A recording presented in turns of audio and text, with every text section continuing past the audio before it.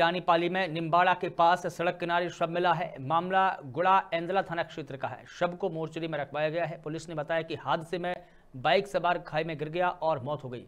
कहा जा रहा है कि युवक अपने ससुराल आया हुआ था। इसी दौरान यह हादसा होने की आशंका है।